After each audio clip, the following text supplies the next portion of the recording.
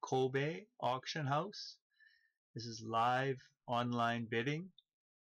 Uh, Kobe Auction is every Saturday from 9 a.m. until it finishes, usually around 7 p.m.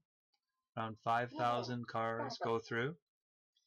This is the foreign car section. You can see on the left side there's a BMW and on the right side also another BMW at this present moment. The left side car now has met reserve. It's going to sell. It's going up. Bidding's going up in increments of 5,000 yen, about 40 US dollars. That sold for $4,500. The right side BMW is just starting. If it changes to green, no, that one didn't sell. So that will either go into negotiation or it'll be back next week.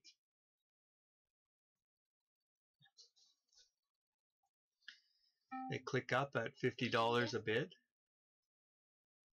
And of course, if we have the highest bid, we'll only pay $50 more than the second highest bidder. If we want to go live here on the left side of the screen, we click here and then you can see the bid buttons came live so we can go ahead and bid which we will not do right now.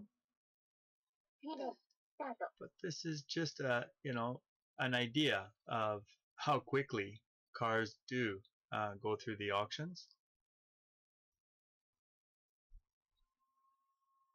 about 150,000 cars uh, go through the auction every week in Japan over 100 auction houses So this is where we can get you your dream car. Let's do it.